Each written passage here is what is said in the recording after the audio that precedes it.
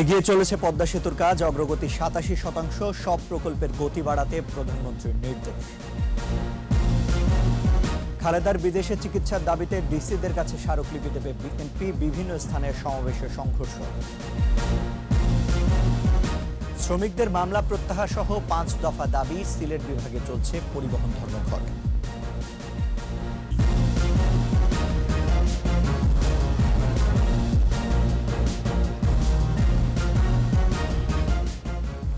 শুনছিলেন First Security Islami Bank Limited সংবাদ শিরোনাম।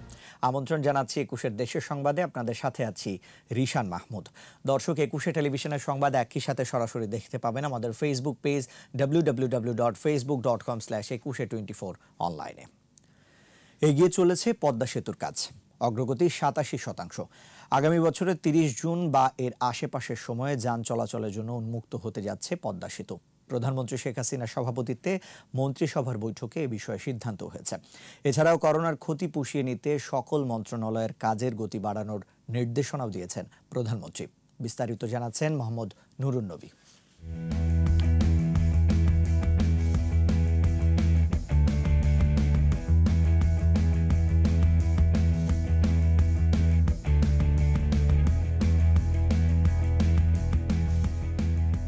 স্বপ্নের পদ্মা সেতু আর অধরা নয়। নিজস্ব অর্থায়নের সবচেয়ে বড় এই প্রকল্পের ভৌত অগ্রগতি সাতাশি শতাংশ। পদ্মার উপর ছয় দশমিক এক পাঁচ কিলোমিটারের সেতুতে এখন পিচ ঢালাই, সেবা সংস্থার লাইন বসানো সহ আনুষঙ্গিক কাজ চলছে। বাকি অংশ শেষ করে আগামী বছরের জুনে তিরিশ তারিখের মধ্যেই যান চলাচলে উন্মুক্ত হচ্ছে। তেমনিভাবে কর্ণফুলী নদীর তীরে বঙ্গবন্ধু টানেলের কাজ শেষ হয়েছে সত্তর শতাংশ। প্রধানমন্ত্রী শেখ হাসিনার সভাপতিত্বে মন্ত্রিসভার নিয়মিত বৈঠকে দুই হাজার বিশ একুশ অর্থ মন্ত্রণালয় ও বিভাগসমূহের বার্ষিক প্রতিবেদনে এসব জানানো হয়েছে। বৈঠক শেষে সংবাদ সম্মেলনে এসব জানিয়েছেন মন্ত্রিপরিষদ সচিব। যেমন পদ্মা সেতু যেটা, এটা এইটি সেভেন পার্সেন্ট এটা অগ্রগতি হয়েছে। আশা করছি আমরা তিরিশে জুন বা তার আশেপাশের সময় ইনশাল্লাহ যান চলাচলের জন্য ওপেন করে দেওয়া হবে। প্রতিবেদনে বলা হয়েছে এই সময়ে জিডিপির প্রবৃদ্ধির হার পাঁচ দশমিক চার সাত মাথাপিছু আয় দাঁড়িয়েছে দুই হাজার দুইশো সাতাশ মার্কিন ডলার। রেমিটেন্স এসেছে চব্বিশ দশমিক সাত আট বিলিয়ন ডলার। রফতানি বেড়েছে পনেরো দশমিক এক দুই শতাংশ। বৈঠকে সকল মন্ত্রণালয়ের কাজের গতি আরও বাড়ানোর নির্দেশনা দিয়েছেন প্রধানমন্ত্রী। সবাইকে একটু আরও একটু ইনহ্যান্স কাজ করে আমাদের ব্যাকলগ যদি থাকে সেটা এবং আমাদেরকে পেজটা আগের মতো নিয়ে যেতে হবে ডেভেলপমেন্টের সব কাজ ডেভেলপমেন্ট সব কাজকর্ম আর কি সরকারি কাজকর্ম। বৈঠকে বাংলাদেশ চলচ্চিত্র সার্টিফিকেশন আইন এবং জেলা পরিষদ আইনের খসড়ার চূড়ান্ত অনুমোদন এসেছে।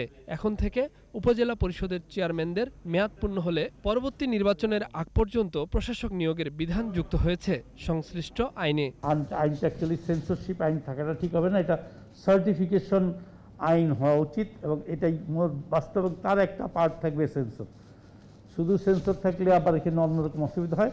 পৃথিবীর অন্যান্য দেশে এখন সার্টিফিকেশন নাই। স্বাধীনতার সুবর্ণ জয়ন্তী উপলক্ষে একাদশ জাতীয় সংসদের পঞ্চদশ অধিবেশনে চলতি মাসের চব্বিশ তারিখে জাতীয় সংসদে রাষ্ট্রপতির বিশেষ ভাষণের খসড়ার অনুমোদন দিয়েছে মন্ত্রিসভা। আর সুবর্ণ জয়ন্তীর আয়োজনে আগামী বছরের মার্চ পর্যন্ত বাড়ানো হয়েছে। মোহাম্মদ নুরুন নবী, একুশে টেলিভিশন, ঢাকা। শ্রমিকদের উপর দায়ের করা মামলা প্রত্যাহার ও সেতুতে টোল আদায়ের প্রতিবাদে সিলেট বিভাগে পরিবহন ধর্মঘট চলছে। পরিবহন শ্রমিক ফেডারেশনের ডাকে সকাল থেকে ধর্মঘট শুরু হয়। সিলেট নগরীর প্রবেশমুখগুলোতে অবস্থান নিয়ে শ্রমিকদের যান চলাচলে বাধা দিতে দেখা যায়। ধর্মঘটের কারণে ঢাকা সহ দেশের বিভিন্ন অঞ্চলের যাত্রীরা গন্তব্যে যেতে পারছেন না। সিলেট শহরেও চলছে না গণপরিবহন। এছাড়াও হবিগঞ্জ, সুনামগঞ্জ, মৌলভীবাজার জেলার অভ্যন্তরে ও দেশের বিভিন্ন সড়কে যাত্রীবাহী বাস ও পণ্যবাহী সব ধরনের যান চলাচল বন্ধ রয়েছে।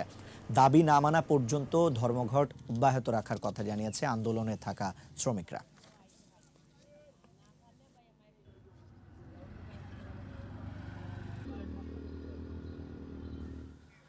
খালেদা জিয়ার মুক্তি ও বিদেশে চিকিৎসার দাবিতে বুধবার সারা দেশের জেলা প্রশাসক বরাবর স্মারকলিপি দেওয়ার কর্মসূচি ঘোষণা করেছে বিএনপি। জাতীয় প্রেস ক্লাবের সমাবেশে ঘোষণা দেন দলটির মহাসচিব মির্জা ফখরুল ইসলাম আলমগীর। সমাবেশে বিএনপি নেতারা বলেন, আন্দোলনের মাধ্যমেই বিএনপি চেয়ারপারসন বেগম খালেদা জিয়াকে মুক্ত করা হবে। একই দাবিতে সারা দেশে সমাবেশ করে বিএনপি। কয়েক স্থানে বিএনপি নেতাকর্মী ও পুলিশের সঙ্গে ধাওয়া পাল্টা ধর ঘটনা ঘটেছে। আরও জানাচ্ছেন জসিম জুয়েল। বিএনপির চেয়ারপারসন বেগম খালেদা জিয়ার মুক্তি ও চিকিৎসার দাবিতে সোমবার প্রেস ক্লাবের সামনে দলের সমাবেশ।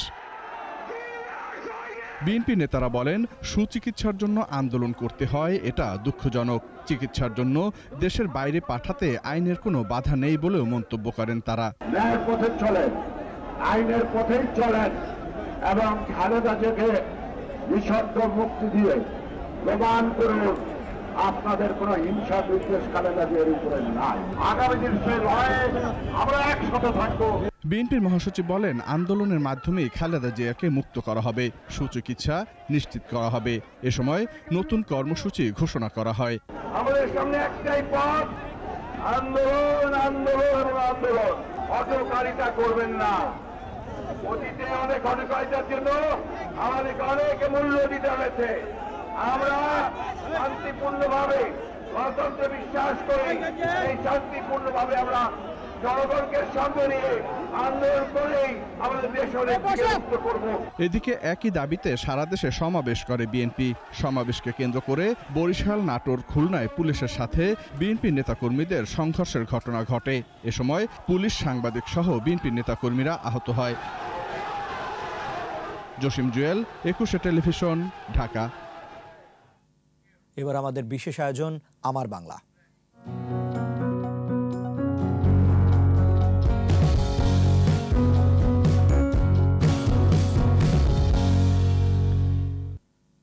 ঠাকুরগাঁও পঞ্চগড় অঞ্চলের জীবন্ত লোকাচার ধামের গান।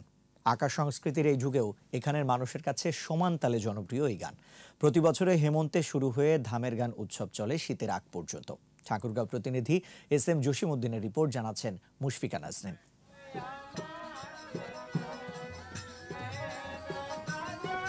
ধাম শব্দের অর্থ স্থান বা আশ্রয়স্থল। নতুন ফসল ঘরে তোলার আনন্দ উদযাপনের একটি মাধ্যম ধামের গান। ধান মারায়ের সাথে মিল থাকায় কোথাও এর নাম মারা ঘুরা কোথাও পালাটিয়া গান, কোথাও হুলি গান, আবার কোথাও বলা হয় লক্ষ্মীর ধামের গান। ঠাকুরগাঁয়ে পাঁচটি উপজেলায় বসে প্রায় ছয়শোর বেশি ধামের আসর। এই গানের সংলাপ সংক্ষিপ্ত, ভাষা আঞ্চলিক। সংলাপ গদ্যেও হয়, আবার গানেও হয়। জীবনযাপনের নানা বিষয় নিয়ে তৈরি হয় নাটকের গল্প ও গান। এই গল্পে যেমন থাকে প্রান্তিক খেটে খাওয়া মানুষের আনন্দ উপাখ্যান, তেমনি থাকে নানা দুঃখ বেদনার কথাও।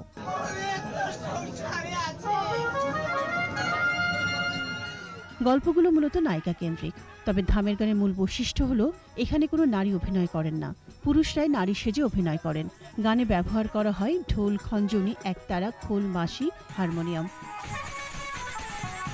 হোলি ধামের গান করি আমরা বিগত বারো চোদ্দ বছর ধরে। অভিনয় করে কিছু টাকা পয়সা পাই এগুলো দিয়ে আমরা সুন্দরভাবে চলি। দীর্ঘ বারো বছর ধরে গান করতেছি। এটা হচ্ছে মানুষের বিনোদনের জন্য। ধামের গান মূলত শাস্ত্রীয় রং পাঁচালি পাঁচমিশালি ও যাত্রাপালার ঢঙে উপস্থাপন করা হয়। আয়োজকরা জানান ঐতিহ্যবাহী এই গানের উৎসব ধরে রাখতে প্রয়োজন পৃষ্ঠপোষকতা। তাদের মধ্যে বিশেষ দর্শন আছে বিশেষ ভাবনা আছে এবং সেই ভাবনাগুলোকে তারা তাদের এই পরিবেশনার মধ্য দিয়ে তুলে ধরবার চেষ্টা করছে গান উপলক্ষের বিদায় বা পয়সা করে দিয়েছিল হ্যাঁ এতই কিন্তু পোষাইছিল এখন কিন্তু তা পোষাচ্ছে না। এক রাতে অনুষ্ঠিত হয় তিন চারটি ধামের গানের আসর। প্রতিটি আসরে ভিড় করেন নানা ধর্ম বর্ণের মানুষ মুশফিকা নাজনীন একুশে টেলিভিশন। বিরতি নিচ্ছি যখন ফিরছি তখন অন্যান্য খবরের সঙ্গে আরও থাকবে। চট্টগ্রামে বেশিরভাগ ভবনের বেসমেন্টে হয় না গাড়ি পার্কিং, সড়কে লেগেই আছে যানজট। আবার আমন্ত্রণ একুশের দেশের সংবাদে। নোয়াখালীর ভাষাঞ্চলে আশ্রয়ণ প্রকল্পে অভিযান চালিয়ে দুই রোহিঙ্গা দালালকে আটক করেছে পুলিশ। আটককৃতদের মধ্যে আক্তারকে বিদেশি নাগরিক আইনে গ্রেফতার দেখিয়ে আদালতে পাঠানো হয়েছে। অপর আসামি রফিককে সতর্ক করে দশ হাজার টাকা জামানত রেখে ছেড়ে দেওয়া হয়েছে।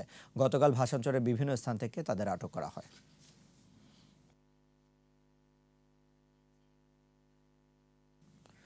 চাহিদার তুলনায় বাড়তি পেঁয়াজ আমদানি হয়। তিন দিনের ব্যবধানে দিনাজপুরের হিলি স্থলবন্দরে পাইকারির পেঁয়াজের দাম কমেছে কেজিতে পাঁচ টাকা। তিন দিন আগেও প্রতি কেজি পেঁয়াজ আঠাশ টাকা দরে বিক্রি হলেও বর্তমানে কমে তা তেইশ টাকা দরে বিক্রি হচ্ছে। বন্দরে পেঁয়াজ ব্যবসায়ীরা জানান, দেশের বাজারে পেঁয়াজের চাহিদা মেটাতে বন্দর দিয়ে পর্যাপ্ত পরিমাণে পেঁয়াজ আমদানি করেছেন আমদানিকারকরা। বর্তমানে পঁচিশ থেকে তিরিশ ট্রাক পেঁয়াজ আমদানি হচ্ছে। কিন্তু দেশের বাজারে সেই তুলনায় আমদানিকৃত পেঁয়াজের চাহিদা কমায়, পেঁয়াজের দাম কমেছে। চাঁপাইনবাবগঞ্জ পৌরসভা নির্বাচনী অফিস ভাঙচুর সহ সমর্থকদের হুমকি ধামকির অভিযোগ করে সংবাদ সম্মেলন করেছেন আওয়ামী লীগ বিদ্রোহী স্বতন্ত্র মেয়র প্রার্থী সামিউল হক লিটন। দুপুরে সংবাদ সম্মেলনে অভিযোগ করে তিনি বলেন, শুধুমাত্র মোবাইল ফোন প্রতীকের সমর্থকদের বিভিন্ন সময় হামলা ও মারধর করা হচ্ছে। বিশ ও একুশ নভেম্বর রাতে চারটি নির্বাচনী অফিস সহ মোট তেরোটি অফিস ভাঙচুর সহ অগ্নিসংযোগের অভিযোগ করা হয়। আগামী তিরিশ নভেম্বর চাঁপাইনবাবগঞ্জ পৌরসভা নির্বাচন অনুষ্ঠিত হবে। এতে আওয়ামী লীগ মনোনীত প্রার্থী, মেয়র প্রার্থী, আওয়ামী লীগ বিদ্রোহী, বিএনপি ও জামাতের স্বতন্ত্র প্রার্থী সহ চারজন মেয়র পদে প্রতিদ্বন্দ্বিতা করছেন। ঠাকুরগাঁয়ে শীত বাড়ছে, জমে উঠেছে গরম কাপড়ের বেচা কেনা প্রতি বছরের মতো এবারও ঠাকুরগাঁয়ের ফুটপাত সহ অনেক স্থানে বসেছে কম দামি শীত বস্ত্রের ভ্রাম্যমাণ ও অস্থায়ী মৌসুমি দোকান। পাওয়া যাচ্ছে ছোট বড়দের জ্যাকেট, মাফলার, সোয়েটার, হাত মোজা, গরম টুপি সহ বিভিন্ন ধরনের শীত বস্ত্র। প্রতিদিন সকাল থেকে অনেক রাত পর্যন্ত গরম কাপড় কিনতে ভিড় করছেন মধ্যবিত্ত, নিম্ন মধ্যবিত্ত সহ বিভিন্ন শ্রেণি পেশার মানুষ। তবে এবার গত বছরের তুলনায় প্রায় দ্বিগুণ দাম চাওয়া হচ্ছে বলে অভিযোগ ক্রেতাদের। ব্যবসায়ীরা বলছেন, সিন্ডিকেটের কারণে বেশি দাম চাওয়া হচ্ছে। সরবরাহ বাড়লে কমতে পারে দাম।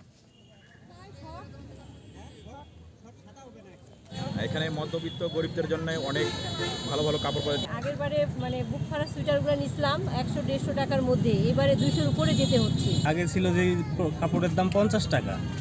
সেই কাপড়ের দাম এখন একশো দুইশো টাকাও চাচ্ছে অনেক। আমরা যেখান থেকে মাল আনছি রংপুর থেকে ওখান থেকে এই রেটে আমরা আনতেছি।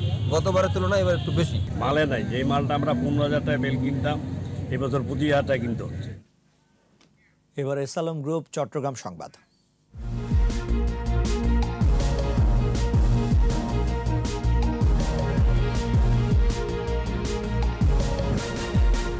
এটি সর্বাধুনিক প্রযুক্তিতে পরিশোধিত এবং শতভাগ কোলেস্ট্রল ফ্রি খাব।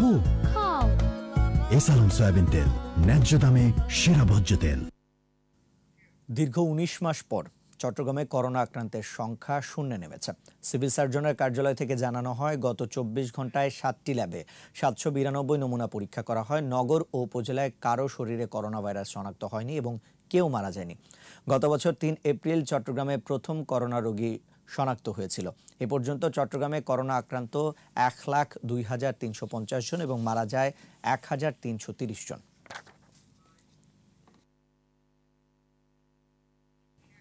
চট্টগ্রামের বেশিরভাগ বাণিজ্যিক ভবনে নিজস্ব গাড়ি পার্কিংয়ের ব্যবস্থা থাকলেও তা ব্যবহৃত হয় না। রাস্তায় পার্কিং করা হয় গাড়ি। এতে গুরুত্বপূর্ণ সড়কগুলো ক্রমেই সংকুচিত হয়ে আসছে। সৃষ্টি হচ্ছে যানজট। বিপ্লব মজুমদারের ক্যামেরায় একরামুল হকের রিপোর্ট জানাচ্ছেন Masum আলিসা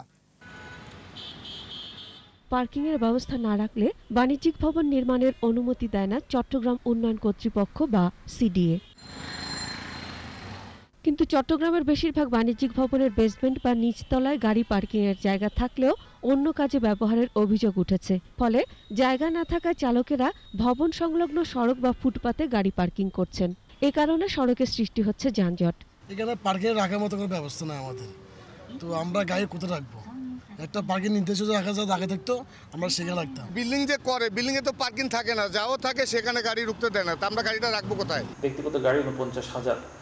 in the mean time আমাদের মহানগরীতে প্রতিদিন চোদ্দ থেকে পনেরোটি ব্যক্তিগত গাড়ি নিবন্ধিত হচ্ছে এবং অন্যান্য গাড়ি নিবন্ধিত হচ্ছে। তো যে হিসাব দেখা যাচ্ছে যে আমাদের যে প্রাইভেট গাড়ির সংখ্যা তুলনামূলকভাবে দিনকে দিন বৃদ্ধি পাচ্ছে এবং মহানগরীতে হয়তো আমাদের রাস্তাঘাট কিছুটা সেই অনুপাতে বাড়ছে না বিধায় যানজট মোটামুটি একটু প্রকট আকার ধারণ করছে। সংশ্লিষ্টরা জানান চট্টগ্রামে সড়কের সংখ্যা বা প্রশস্ততা না বাড়লেও প্রতিদিন গড়ে পনেরোটি প্রাইভেট কার বা জিপ রাস্তায় নামছে। বাণিজ্যিক গাড়ি নামছে আরও বেশি। এসব গাড়ি পার্কিং হচ্ছে রাস্তা বা ফুটপাতে। প্রাইমারি রোডে গাড়িগুলো যাতে দ্রুত চলাচল করতে পারে ফোর লেন রোড দিয়ে গাড়িগুলো চলাচল করতে পারে এইটার পাশে যে সমস্ত বিল্ডিংগুলো আছে ওগুলোকে আমরা নোটিশ দিচ্ছি যাতে যে সমস্ত বিল্ডিংয়ে পার্কিং নাই তারা যাতে পার্কিং এরিয়া এগুলো এনশিওর করে। বেসমেন্টে পার্কিং নিশ্চিত করতে বাণিজ্যিক ভবনগুলোর তালিকা সংগ্রহে উদ্যোগ নিয়েছেন নগর পুলিশ কমিশনার। আমরা এটি চিহ্নিতকরণের প্রক্রিয়ায় আছি। এটি করার পরে আমরা সিডি কর্তৃপক্ষকে আমরা জানাব আহ, তারা এই বিষয়ে প্রয়োজনীয় আইনের ব্যবস্থা গ্রহণ করবেন। যানজটে প্রতিনিয়ত মূল্যবান শ্রমঘণ্টা নষ্ট হচ্ছে নগরবাসীর। প্রতি ঘন্টায় দশ কিলোমিটারের বেশি গতিতে চলতে পারছে না গাড়ি। মাসুম আলিসা একুশে টেলিভিশন। রড, সিমেন্ট, বিটুমিন সহ সকল নির্মাণ সামগ্রীর বর্ধিত দাম পনেরো দিনের মধ্যে না কমালে চট্টগ্রামের সব সরকারি উন্নয়ন কাজ বন্ধ রাখার ঘোষণা দিয়েছেন চট্টগ্রাম এলজিইডি ঠিকাদার সমিতি। সকালে চট্টগ্রাম প্রেস ক্লাবের সংবাদ সম্মেলনে এই ঘোষণা দেন সমিতির নেতারা। এ সময় সমিতির সাধারণ সম্পাদক আসাদুজ্জামান টিটু বলেন, গেল আট মাসের ব্যবধানে নির্মাণ সামগ্রীর মূল্য বেড়েছে প্রায় চল্লিশ শতাংশ। এতে হুমকির মুখে সরকারের চলমান বারো হাজার কোটি টাকার উন্নয়ন কাজ। নির্মাণ সামগ্রীর অস্বাভাবিক মূল্য বৃদ্ধির কারণে ঠিকাদাররা আর্থিক ক্ষতির সম্মুখীন হচ্ছে বলেও অভিযোগ করেন তারা।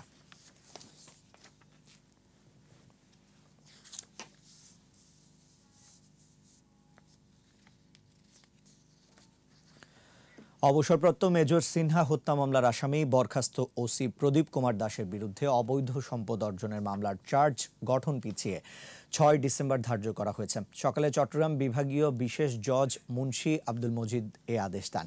দুর্নীতি দমন কমিশনের আইনজীবী মাহমুদুল হক জানান, আসামির উপস্থিতিতে প্রদীপের জামিন আবেদন করা হয়েছিল। আদালত চার্জ গঠন ও জামিন আবেদনের শুনানির দিন ছয় ডিসেম্বর ধার্য করেন।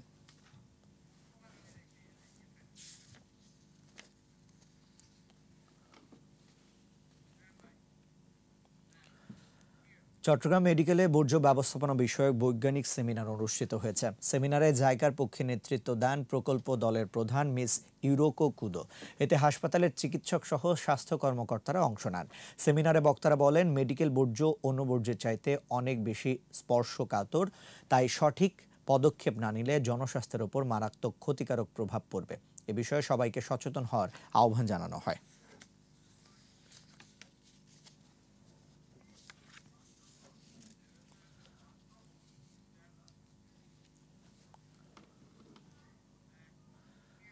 সরকারি কর্মকর্তা ও কর্মচারীদের শব্দ দূষণ নিয়ন্ত্রণে সচেতনতামূলক প্রশিক্ষণ অনুষ্ঠিত হয়েছে। পরিবেশ অধিদপ্তরের আয়োজনে সভায় বক্তারা আগামী প্রজন্মকে সুস্থভাবে গড়ে তুলতে শব্দ দূষণ নিয়ন্ত্রণ করতে সবার প্রতি আহ্বান জানান। অতিরিক্ত জেলা ম্যাজিস্ট্রেট সুরাইয়া আক্তার সুইটির সঞ্চালনায় চট্টগ্রাম কার্যালয়ের পরিচালক মফিদুল আলম এতে সভাপতিত্ব করেন। প্রধান অতিথি হিসেবে বান্দরবানের জেলা প্রশাসক ইয়াসমিন পারভিন তিব্রিজ উপস্থিত ছিলেন।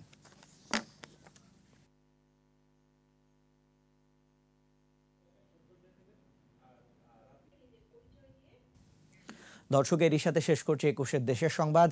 যাবার আগে First Security Islami Bank Limited সংবাদ শিরোনামগুলো আরও একবার। এগিয়ে চলেছে পদ্মা সেতুর কাজ, অগ্রগতি সাতাশি শতাংশ, সব প্রকল্পের গতি বাড়াতে প্রধানমন্ত্রীর নির্দেশ। খালেদার বিদেশে চিকিৎসার দাবিতে ডিসিদের কাছে স্মারকলিপি দেবে বিএনপি, বিভিন্ন স্থানের সমাবেশে সংঘর্ষ। শ্রমিকদের মামলা প্রত্যাহার সহ পাঁচ দফা দাবি, সিলেট বিভাগে চলছে পরিবহন ধর্মঘট।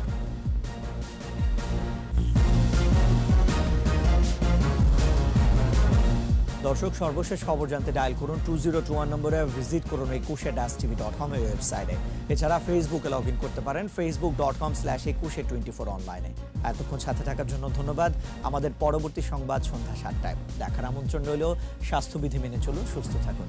একুশের সাথেই থাকুন।